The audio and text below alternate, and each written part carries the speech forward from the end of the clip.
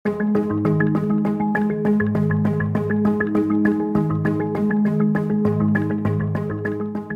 นประธานครับ วันนี้ผมก็อยากจะถามท่านรัฐมนตรีในประเด็นที่เป็นข่าวคือฮาและพี่น้องประชาชนได้สงสัย และผมก็ได้ในฐานะประธานกรรมธิการการที่ดิน ก็ได้เชิญหน่วยงานที่เกี่ยวข้องนะครับ มาหารือมาชี้แจงข้อเท็จจริง และก็ได้ลงพื้นที่เพื่อตรวจสอบพื้นที่จริงนะครับ ร่วมกับหน่วยงาน ก็ยังมีหลายประเด็นหลายข้อสงสัยที่ยังไม่ได้คลี่คลายนะครับในประเด็นการออกสบกในเขตพื้นที่ที่ทับซ้อนกับอุทยานแห่งชาติเขาใหญ่ ซึ่งก็ถือว่าเป็นข้อพิพาทข้อขัดแย้งระหว่างสองหน่วยงานกรมอุทยานกับสบกในเรื่องแนวเขต ที่ยังไม่ชัดไม่เจน เพราะว่าพื้นที่แห่งนี้ก็คงจะเป็นพื้นที่ที่มีการประกาศวันแมปไปแล้ว แต่สำหรับในบริเวณเขาใหญ่ ยังเป็นข้อตกเถียงข้อพิพาทดังนั้นวันแมปประกาศเมื่อวันที่ 28 กุมภา2566 จึงมีการยกเว้นพื้นที่เขาใหญ่นะครับท่านประธานครับ ทั้งสองฝ่ายระหว่างอุทยานและสปก ก็ตั้งก็ก็ต่างถือกฤษฎีกาคนละตัวคนละฉบับ ทางอุทยานก็บอกว่าอ่ากฤษฎีกา แผนที่แนบท้ายกฤษฎีกาเมื่อพศ 2505 เป็นที่ชัดเจนและถูกต้องว่าเป็นแนวเขตอุทยาน ทางสปกก็อ้างว่าแผนที่แนบท้ายประกาศเมื่อปี 34 ก็ถือว่าเป็นที่ถูกต้องชัดเจนว่าเป็นแนวเขตของสปก ผมจะไม่เล่าในรายละเอียดมาก เพราะว่าผมคิดว่าท่านประธานและเพื่อนสมาชิกก็คงจะติดตามข่าว และรู้รายละเอียดพอสมควร รวมถึงพี่น้องประชาชน ผมก็อยากจะเข้าสู่คำถามในครั้งหนึ่งหรือรอบแรกดังนี้ครับ จากการแถลงข่าวของท่านรัมตีเมื่อวันที่ 27 กุมภาที่ผ่านมา อันนี้ก็เป็นที่มาว่าข้อพิพาทข้อพิพาทไม่จบนะครับท่านนายกรัฐมนตรีก็มอบหมายให้กรมแผนที่ทหาร ท่านรัฐมนตรีว่าการก็มอบหมายให้กรมแผนที่ทหารได้ลงไปสำรวจตรวจสอบนะครับ แล้วก็ท่านก็มาชี้แจงเมื่อวันที่ 27 กุมภาพันธ์ที่ผ่านมา กรณีที่พิพากที่ทับซ้อนในที่ดินสปกอุทยานแห่งชาติเขาใหญ่ตำบลหมูสีอำเภอปากช่อง จังหวัดนครราชสีมา ว่ากรมแผนที่ทหารได้ทำหนังสือถึงนายกรัมตี รายงานผลแนวเขตที่ทับซ้อนดังกล่าว มีผลว่าการตรวจสอบให้แปลงปฏิรูปที่ดินของสปกไม่ทับซ้อนและอยู่นอกแนวเขตของอุทยานแห่งชาติเขาใหญ่ท่านรัฐมนตรีท่านประธานครับ ในฐานะที่ท่านเป็นรัฐมนตรีว่าการกระทรวงเกษตร ผมอยากสอบถามท่านว่า ผมอยากรู้ว่าสถานะทางกฎหมายของรายงานผลการตรวจสอบของกรมแผนที่ทหาร ว่ามีสถานะทางกฎหมายอย่างไร สามารถนำมาใช้ในการตัดสินความขัดแย้งหรือข้อพิพาทเรื่องแนวเขตได้หรือไม่ สามารถใช้แทนแผนที่แนบท้ายพระราชกฤษฎีกาประกาศอุทยานแห่งชาติได้หรือไม่ หรือเป็นเพียงความเห็นของกรมแผนที่ทหารเท่านั้นคำถามแรกครับเอ่อก่อนที่ท่านปีจะตอบนะครับสภาผู้แทนราษฎรขอต้อนรับคณะอาจารย์และนักศึกษา สาขาวิชารัฐประศาสนศาสตร์ คณะมนุษยศาสตร์ และสังคมศาสตร์ มหาวิทยาลัยราชภัฏนครศรีธรรมราชอำเภอเมือง จังหวัดนครศรีธรรมราชครับ ซึ่งกำลังนั่งฟังการประชุมของเราบนชั้นสาม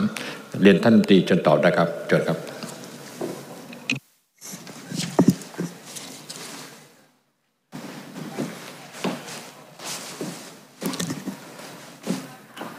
กราบเรียนท่านประธานสภาที่เคารพ เพื่อนสมาชิกผู้ทรงเกียรติ ที่เคารพทุกท่านครับ ก่อนอื่นผมต้องขอขอบคุณท่าน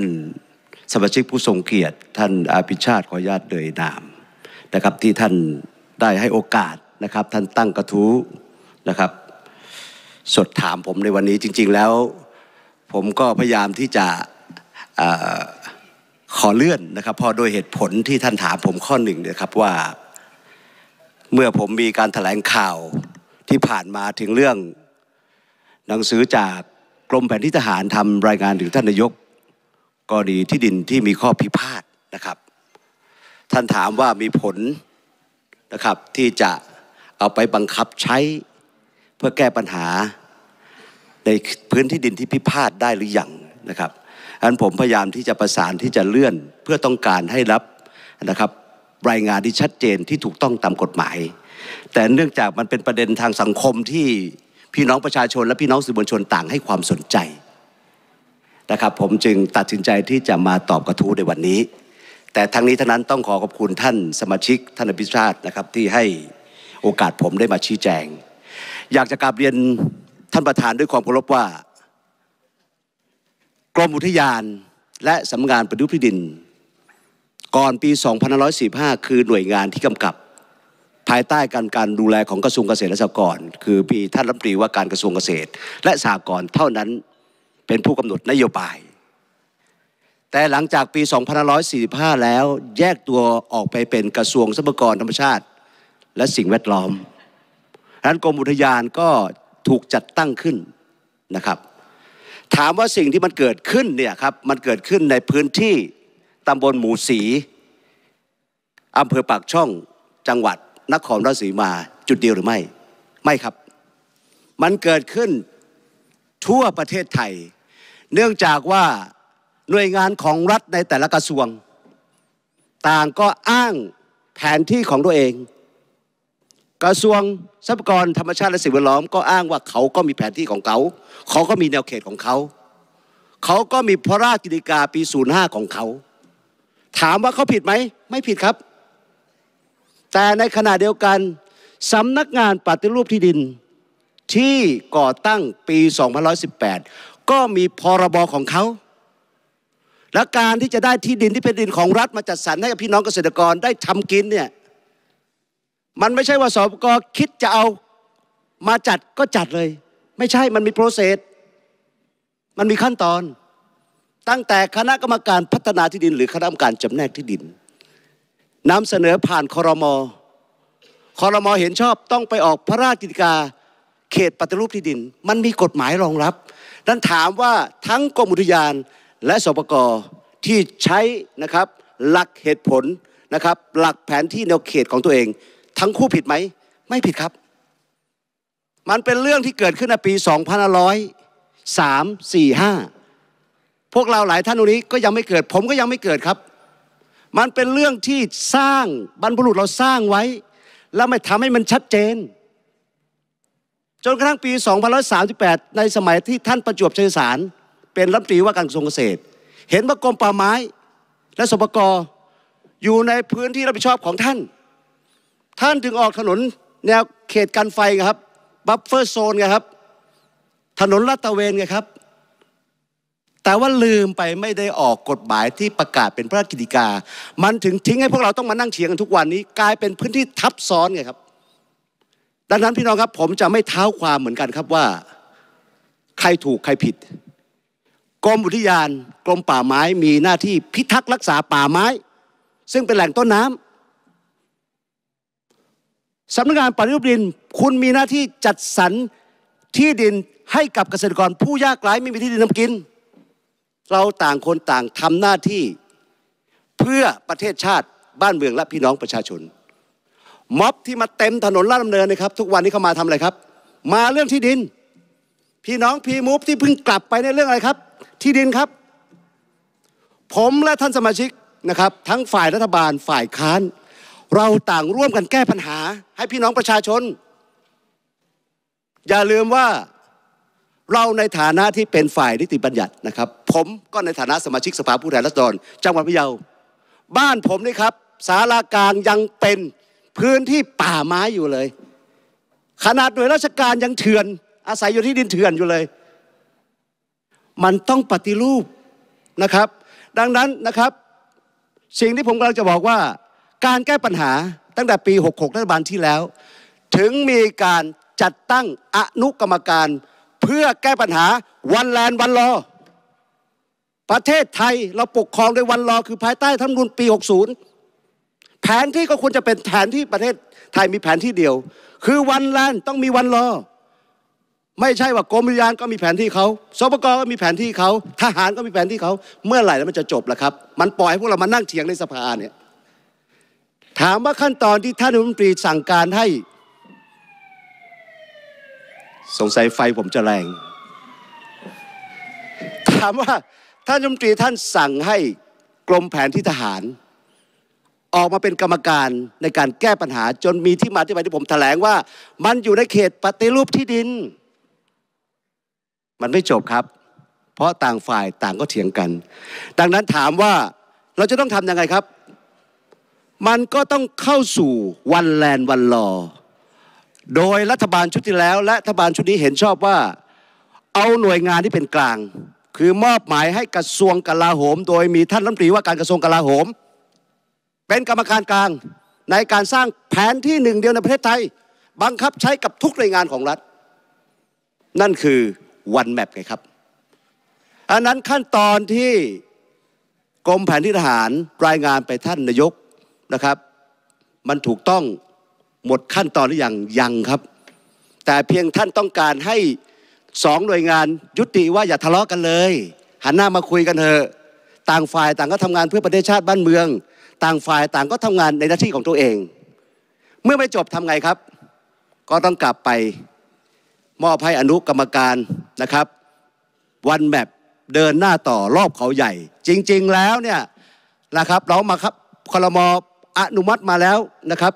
33 จังหวัดกำลังจะเข้าอีก 11 จังหวัดนะครับเหลืออีก 33 จังหวัดนะครับ เขาใหญ่เป็นพื้นที่ที่เขายกเว้น เพราะว่าเมื่อออกวันแมปแล้วมันจะกระทบถึงโฉนดนะครับที่ออกไปนะครับโฉนดที่ออกไปโดยกรมนะครับที่ดิน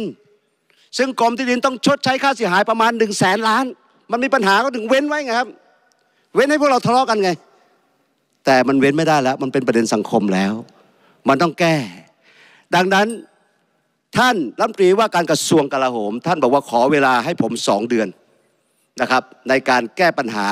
พื้นที่แนวอุทยานเขาใหญ่ว่ามันเป็นรูปแบบไหนกี่ตารางกิโลเมตร กี่ไร่ เราอดใจรอครับ เพราะนั้นสิ่งที่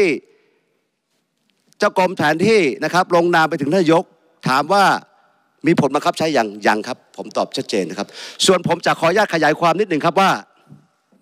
นั้นเป็นเรื่องกฎหมายนะครับ ถามว่าแล้วจะทำยังไงต่อ ก่อนที่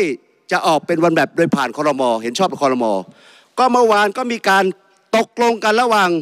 สองกระทรวงเรียบร้อยแล้ว จึงมีเป็นที่มาที่ไปของการบันทึกความร่วมมือระหว่างกระทรวงทรัพยากรธรรมชาติและสิ่งแวดล้อม กับกระทรวงเกษตรและสหกรณ์โดยท่านประหลัดทั้งสองกระทรวงลงบันทึกมีข้อตกลงไว้ว่า ประเด็นนะครับ แนวเขตอุทยานเขาใหญ่ ทั้งสองกระทรวงตกลงให้นำเข้าสู่การพิจารณา เรื่องแนวเขตที่เป็นที่ดินของคณะกรรมการปรับปรุง แผนที่แนวเขตที่ดินของรัฐ แบบปุรการในมาตราส่วนหนึ่งต่อสี่พันหรือที่เราเรียกสั้นๆว่าวันแมป ที่ผ่านความเห็นชอบของคณะกรรมการ จัดที่ดินแห่งชาติ หรือคณะอนุกรรมการที่ตั้งขึ้น เพื่อแก้ปัญหาแนวเขตที่ดิน แนวเขตอุทยานเขาใหญ่ ซึ่งขั้นตอนจะต้องเห็นชอบคอรมอเมื่อได้ยุข้อยุติค่อยมาเจรจากัน และในระหว่างนี้ทำยังไงครับนะครับ ในระหว่างนี้ทำไงครับ ก็ต่างฝ่ายต่างถอยคนละก้าวครับ รอวันแมปครับ ในส่วนของสำนักงานปฏิรูปดินทำอะไรครับ ผมสั่งให้เพิกถอนสปก4ขีดศูนย์หนึ่งท่านต้องเข้าใจนะครับ ไม่ใช่โฉนดนะครับสปก4ขีดหนึ่งที่ออกไปนะครับ ทั้ง 5 ฉบับจะให้ในกรในขอใครก็ตาม เพิกถอนให้หมด แนวพื้นที่ตรงนี้คุณห้ามเข้า คุณห้ามยุ่ง อย่าทะเลาะกัน ในส่วนของสปกขณะเดียวกันผมตั้งคณะกรรมการสอบสวน ตั้งแต่หลังจากวันเกิดเหตุไม่กี่วัน และสั่งย้ายข้าราชการกลับมาสู่ส่วนกลางทั้งหมดทั้ง 6 นายที่มีส่วนเกี่ยวข้อง ผมตั้งคณะกรรมการ ผมได้ข้อมูลแล้วว่ามันอาจจะมีการออกเอกสารสิทธิประเภทสปก4กิจหนึ่งโดยไม่ชอบ ผมถึงมอบหมายให้ที่ปรึกษาฝ่ายกฎหมาย ดรธนดล ไปร้องทุกข์แจ้งความกับเจ้าที่ตำรวจปปปเพราะผมมีความมั่นใจว่าหน่วยงานนี้ มีความเป็นธรรมตรงฉินผมไม่มั่นใจในลูกน้อง ผมที่เป็นคณะกรรมการ แล้วให้ดำเนินคดีครับ สาวถึงใคร ไม่มีจบแบบหล่อใครผิดว่าตามผิด นอกจากลงวินัยร้ายแรงแล้ว ถูกดำเนินคดี และสิ่งสำคัญที่สุดนะครับ พรุ่งนี้ผมจะให้เลขาสปกรทำหนังสือถึงเลขาปปงให้มาร่วมดำเนินคดี ตรวจสอบเส้นทางการเงิน ยึดทรัพย์สินคืนสู่แผ่นดินให้หมด และขณะเดียวกันพื้นที่ตรงนี้ จะต้องรักษาไว้เป็นป่า จะเป็นป่าชุมชนที่ให้พี่น้องในพื้นที่ร่วมกันรับผิดชอบ หรือจะเป็นป่าอะไรก็แล้วแต่ขึ้นอยู่กับสองกรมมีการคุยกัน ตามบันทึกข้อตกลง ฉบับที่ลงโดยท่านปลัดกระทรวงทรัพยากรโดยท่านปลัดจตุพรบุรุษพัฒน์และปลัดกระทรวงเกษตรนายประยูนอินทสุดและผู้เป็นพยานคืออธิบดีกรมอุทยานนายอัธพลเจริญชันษานะครับ และเลขาสมกคือนายวินโรธทรัพย์ส่งสุข ตกลงกันตามนี้ ดังนั้น หน้าที่ของประหลัดทั้งสองกระทรวง คุณไปปกครองลูกน้องคุณ ว่าคุณหยุดพูดกันได้แล้ว เมื่อสองกระทรวงตกลงกันแล้ว แล้วหนังสือฉบับนี้นะครับจะต้องนำถึงคณะกรรมการนโยบายที่ดินแห่งชาติ เพื่อนำเสนอคอรมอว่าเราได้ตกลงอย่างนี้ แล้วแก้ปัญหาร่วมกัน อันที่ดินมีปัญหาห้ามทำอะไรทั้งนั้น รักษาเป็นป่านะครับแล้วที่เราจะทำเป็น buffer zone และกันโซนต่อไปในอนาคตขอบคุณมากครับท่านประธานครับขอบคุณท่าน รัฐมนตรีว่าการกระทรวงเกษตรและสหกรณ์ครับ เชิญคุณอภิชาติศรีสุนทรถามได้อีกสองครั้งกันนี้ท่านมีเวลา10นาที15วินาทีครับ เชิญครับ ผมถามสั้นๆท่านรัฐมนตรีตอบยาวเลยนะครับ ก็สรุปคำถามที่หนึ่งท่านบอกว่าความเห็นของกรมแผนที่ทหารยังไม่มีผลตามกฎหมาย ถูกต้องนะครับ ท่านประธานครับ แน่นอนครับว่าถ้าหากข้อมูลทั้งสองฝ่ายทั้งสองหน่วยงานไม่ตรงกัน ต่างหน่วยงานก็มีความเห็นที่แตกต่าง และเชื่อข้อมูลของตัวเอง ผมคิดว่าถ้าหากสองหน่วยงานยังยืนกลางอย่างนี้ มันก็จะไม่เป็นที่สิ้นสุดโดยแน่แท้ใช่ไหมครับท่านรัฐมนตรีดังนั้น การดำเนินการก็ควรจะต้องดำเนินการไปตามกรอบระเบียบกฎหมายหลักเกณฑ์ที่ให้ไว้นะครับมิใช่ไปเอากรมแผนที่ทหารมาการันตีให้ฝ่ายใดฝ่ายหนึ่ง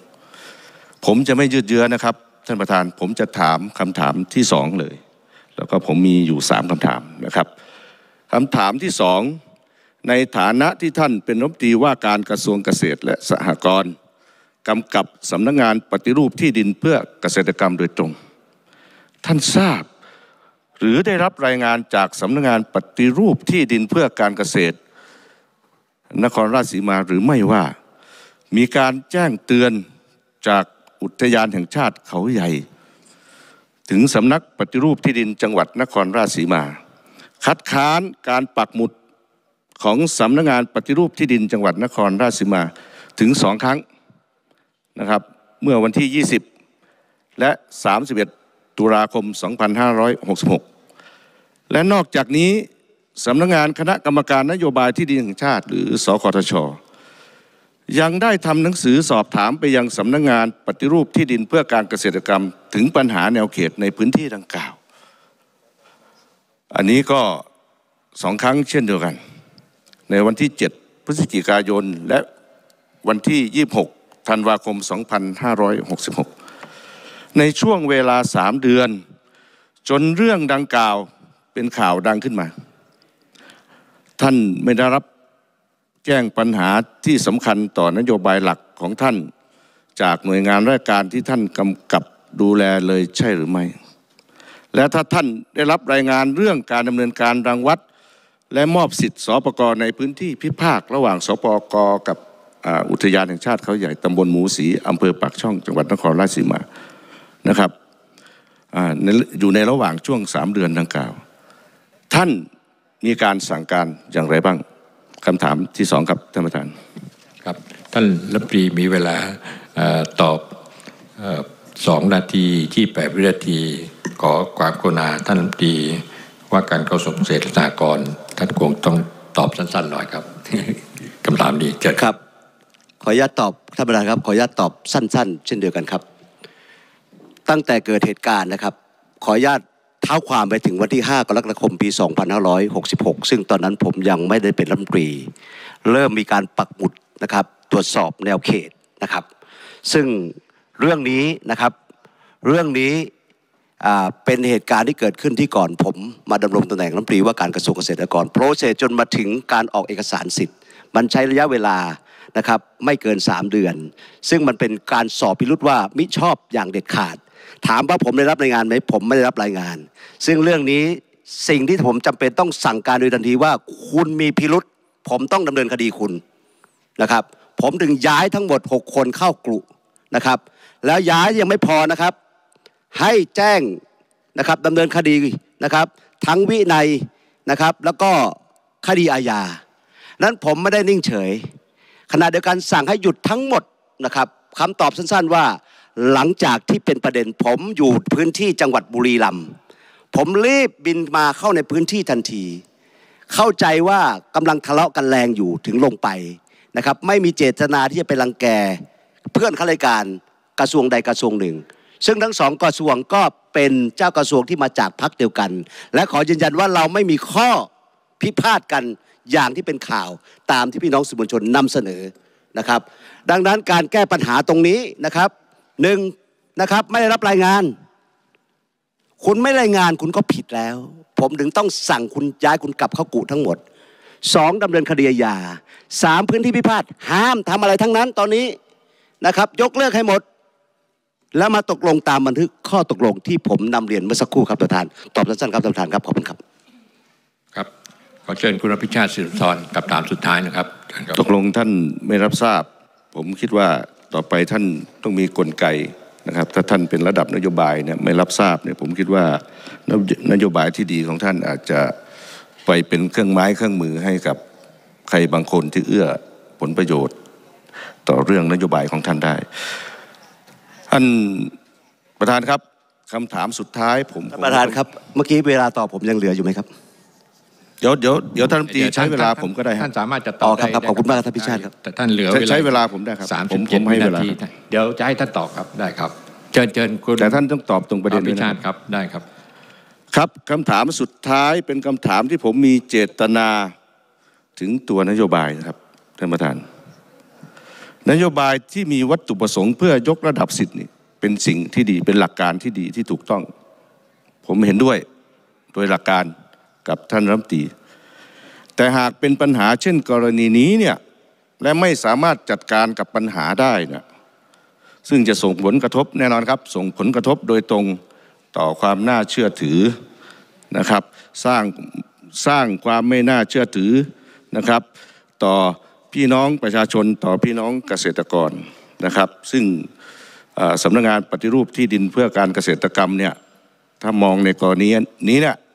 มันเป็นข้อสงสัยเยอะแยะ ในสายตาของประชาชนเนี่ยถ้าหากขาดความเชื่อถือก็จะเป็นเรื่องยากนะครับ ที่จะดำเนินการต่อไปให้สำเร็จทางนโยบายได้ แม้กระทั่งแม้แต่ต่อสถาบันทางการเงินที่ท่านบอกว่า พอออกโฉนดเพื่อการเกษตรไปแล้วเนี่ยสามารถไปกู้ไปหยิบไปยืมธนาคารพาณิชย์อื่นได้ที่ไม่ใช่ทกสอย่างเดียวเนี่ยก็จะกลายเป็นความไม่น่าเชื่อถือ ดังนั้นเนี่ย คำถามสุดท้ายนะนะครับ ผมอยากถามท่านว่า ท่านมีแนวทางมาตรการอย่างไรในการป้องกันปัญหาดังกล่าว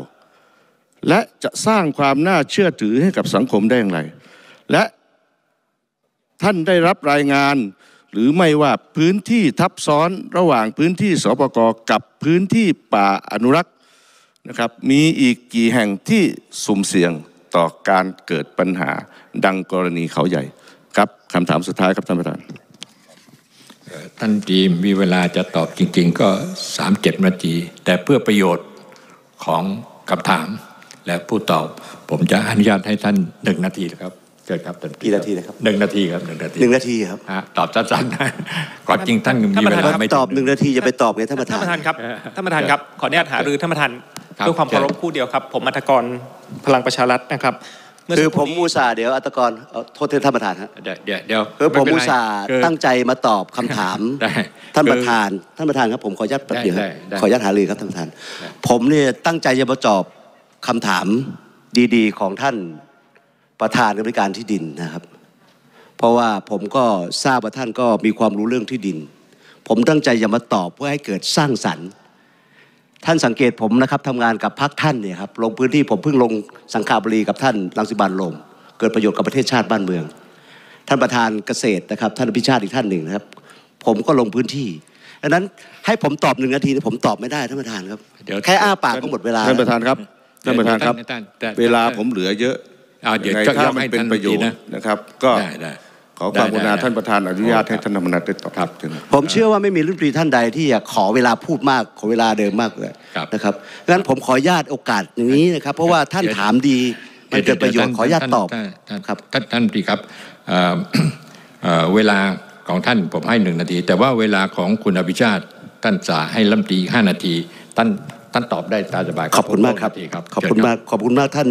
ประธานครับขอบคุณมากท่านอภิชาติครับ คือผม ก่อนจะมาตอบคำถามใครเนี่ยผมก็ศึกษาว่าผู้ถามมีองค์ความรู้ไหมนะครับ แล้วผมก็ได้รับคำตอบจากเพื่อนสมาชิก แล้วก็ประวัติของท่านว่าท่านมีความรู้เรื่องที่ดินนะครับ ดังนั้นมันเกิดประโยชน์กับท่านครับผมท่านถามผมว่าที่ดินที่ทับซ้อนอยู่ในเขตพื้นที่สปกเนี่ยนะครับยังมีอีกเยอะไหมเยอะมากครับและปัญหาที่พี่น้องนะครับ ไม่ว่าจะเป็นพีมูฟสมัชชาประชาชนสี่ภาค และพี่น้อง สมัชชาคนจนที่ถูกดำเนินคดีกว่าหมื่นคดี ก็เป็นเรื่องนี้ที่พวกเราร่วมกันแก้ปัญหานะครับ อันนั้นเรามาในฐานะที่เราเป็นสมาชิกนะครับรัฐสภา ในฐานะเป็นฝ่ายนิติบัญญัติ เรามาช่วยกันแก้ปัญหา ผมชื่นชมการทำงานนะครับ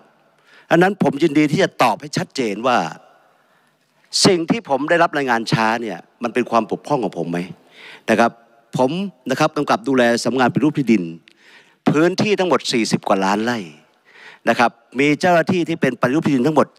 72 จังหวัดนะครับเปรียบเสมือนมี 72 โรงพักอันโรงพักนะครับ 72 โรงพักโรงพักไหนเนี่ยครับที่มีผู้กำกับ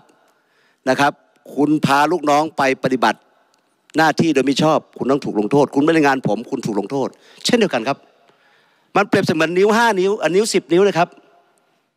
นิ้วไหนเน่าเราต้องตัดทิ้ง แต่เราจะเหมาว่าคุณเละทั้งหมด นโยบายที่คุณกำลังทำโฉนดที่ดินเพื่อการเกษตรของพี่น้องเกษตรกรเนี่ยคุณล้มเหลว เราต้องกลับไปถามถึงพี่น้องเกษตรกรว่าท่านพึงพอใจกับนโยบายที่เราเปลี่ยนสปก4.1ให้เป็นโฉนดไหม ท่านไปถามได้เลยครับ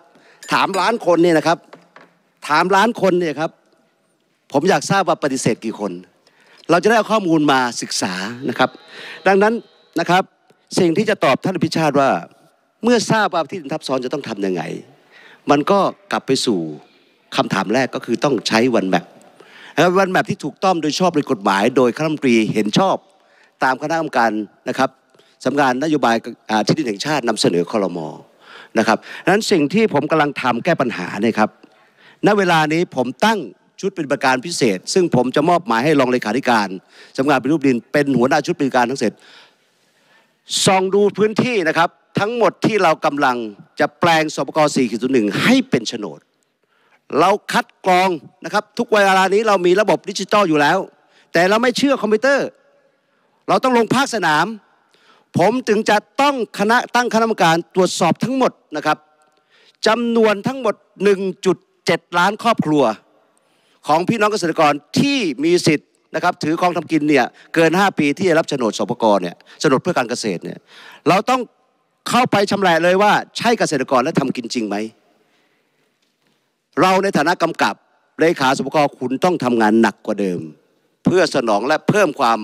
นะครับเชื่อมั่นนะครับให้กับพี่น้องเกษตรกรผู้ได้รับเอกสารสิทธิประเภทโฉนด เพื่อการเกษตร หลายสิ่งหลายอย่างนะครับ ที่ผมกำลังแก้ปัญหา ผมนั่งตั้งแต่เปิดสภาวันนี้ พี่น้องหาลือกันเนี่ยไม่มีเรื่องใดที่ไม่เกี่ยวกับเกษตรเลยครับ เพราะมันเกี่ยวกับคนส่วนใหญ่ คนส่วนใหญ่ของประเทศไทยนะครับ พี่น้องเกษตรกร 31 ล้านกว่าชีวิต ผู้ใช้แรงงานภาคการเกษตรอีก 21 ล้านกว่าชีวิต คนทั้งหมด 52 ล้านชีวิต ที่พึ่งพาฝากความหวังไว้กระทรวงเกษตร กระทรวงเกษตรอย่าคิดว่าตัวเองแน่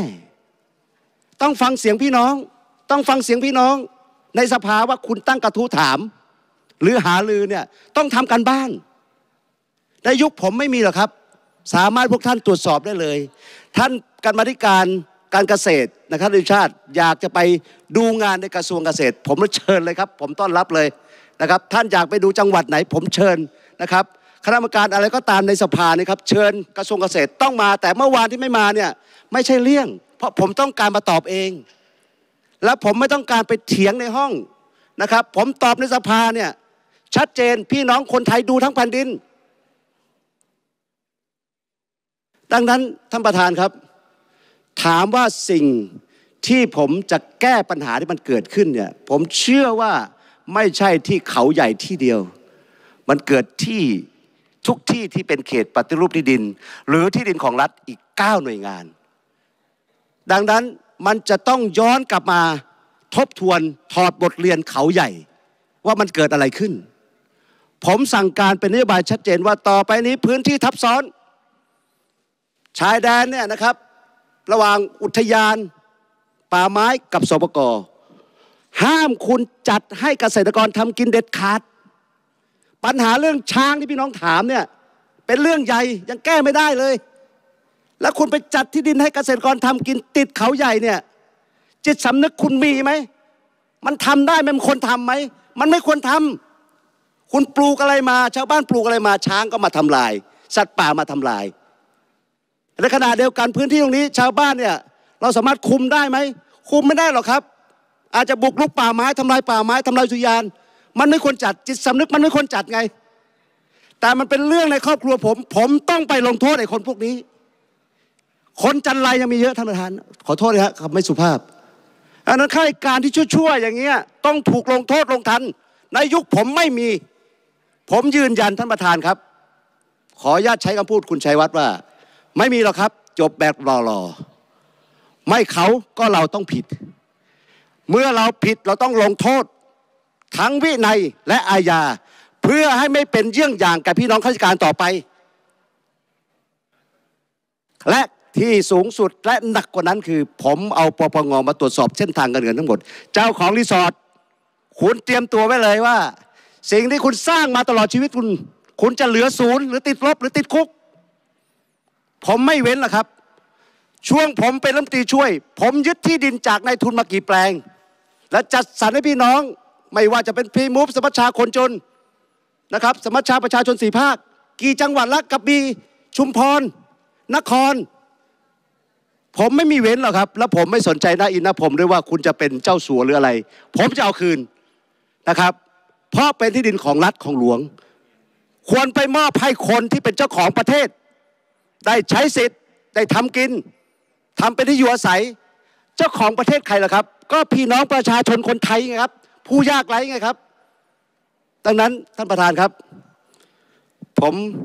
ขออนุญาตตอบ ยาวๆเพียงแค่นี้นะครับ แล้วก็ผมขอขอบคุณนะครับ ท่านประธานขอบคุณเพื่อนสมาชิก ด้วยความเคารพนะครับ และผมชื่นชมนะครับคณะกรรมการที่ท่านเป็นประธาน ขอชื่นชมพี่น้องที่เป็นประธานบริการหลาย ๆ คณะที่ได้ทำงานร่วมกับผมล้วนแล้วแต่มีวัตถุประสงค์เดียวกันคือ ต้องการแก้ปัญหาให้กับบ้านกับเมืองนี้ ให้มันอยู่ในกรอบภายใต้กฎหมาย และเกิดประโยชน์สูงสุดกับเจ้าของประเทศคือพี่น้องประชาชน